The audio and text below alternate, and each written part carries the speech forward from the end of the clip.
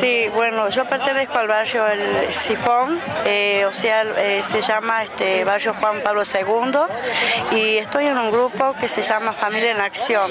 Somos mamás que estamos integrándonos es para fortalecernos, este, para poder ayudarnos con las capacidades de los jóvenes que están este, atravesando eh, la droga. ¿Y hace mucho tiempo que están con este grupo? Y ya va a ser un año. ¿Y se ha logrado sumar muchas madres? Y sí, este, sí hemos logrado este, poder este, asistir varias madres y este, la organización es este, también con grupos de madres de otros lugares. ¿Cómo Sí. la problemática de adicciones, cómo está en el barrio? Y mire, sigue peor, porque la verdad que este, vemos un poco de mejoría, pero así como tratamos de, mej- de ayudar que se mejore el barrio, es como que esto avanza cada día más. Y los jóvenes consumen más.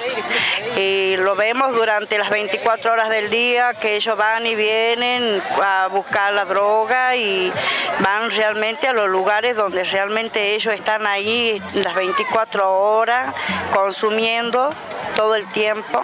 Yo creo que eh, uniéndose, eh, creo que con unión, con fe y tener este, esperanza, creo que sí. Y yo le dejaría el mensaje que, que sigan luchando por sus hijos, que crean realmente que ellos sí van a salir de la droga y que nosotros como mamá este, vamos a seguir apoyándonos, sea eh, en el barrio Sifón, sea en el barrio donde realmente a todos nos toque ir a visitar.